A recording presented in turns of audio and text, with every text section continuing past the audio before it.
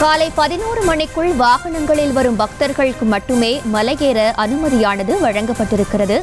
சபரிமலையில் இந்த அறிவிப்பை கேரள காவல்துறை அறிவித்திருக்கிறது.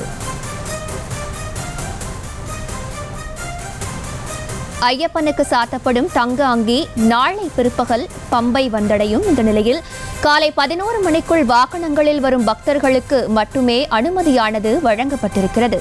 காலை பதினோரு மணிக்குள் வாகனங்களில் வரும் பக்தர்களுக்கு மட்டுமே மலையேற அனுமதியானது வழங்கப்பட்டிருக்கிறது. விவரங்களோடு இணைகிறார் செய்தியாளர் பாலாஜி. பாலாஜி விவரங்கள். சுதர்த்தனா சபரிமலை ஐயப்பன் கோவிலில் மண்டல கால பூஜை வந்து இருபத்தி ஏழாம் தேதி நடைபெற உள்ளது. அதாவது காலை பத்து பத்து முப்பது மணி முதல் பதினொன்று முப்பது மணி வரை மண்டல பூஜை நடைபெற உள்ளது. இந்த மண்டல பூஜையின் போது பார்த்தோம்னா சபரிமலை ஐயப்பனுக்கு நானூத்தி ஐம்பத்தி ஒரு பவுன் எடை கொண்ட தங்க அங்கி வந்து அணிவிக்க அணிவிப்பது வழக்கம். இந்த தங்க அங்கிக்கு தீபாரணை காட்டப்பட்டு மண்டல கால பூஜை நடைபெறும். இந்த பூஜைக்காக பார்த்தோம்னா தங்க அங்கி நாளை பிற்பகல் ஒன்று முப்பது மணி அளவில் வந்து சபரிமலை ஐயப்பன் கோயிலில் பம்பைக்கு கொண்டு வரப்படும்.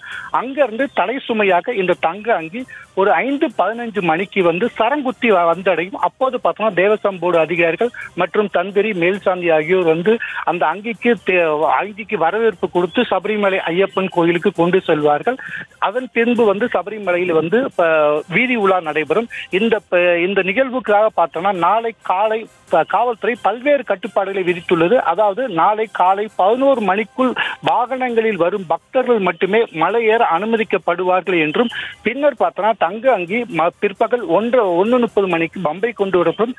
அந்த தங்க அங்கி பம்ப மூலஸ்தான சன்னிதானம் கொண்டு செல்லும் வரையிலும் வந்து பக்தர்கள் மலையேற அனுமதிக்கப்பட மாட்டார்கள் என தெளிவிட்டு தெளிவாக அறிவுறுத்தியுள்ளது. எனவே அதற்கு தகுந்தால் போல் பக்தர்கள் தங்களின் பயண திட்டத்தை அறிவுறுத்திக் கொள்ள கொள்ளவும் என அறிவித்திருக்கிறார்கள்.